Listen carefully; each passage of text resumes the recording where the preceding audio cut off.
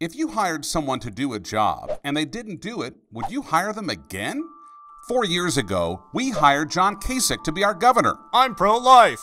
because a governor gets things done I said, send me that bill to sign, Senator. and fights for what matters. I will do whatever it takes to expand government health care.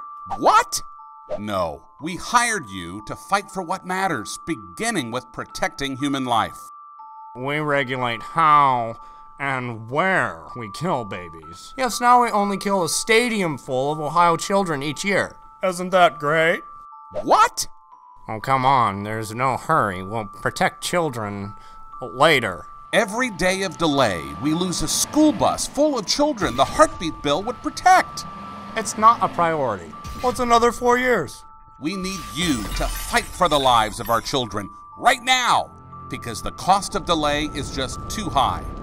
Call 614 466 3555 and ask Governor Kasich to save the lives of these babies.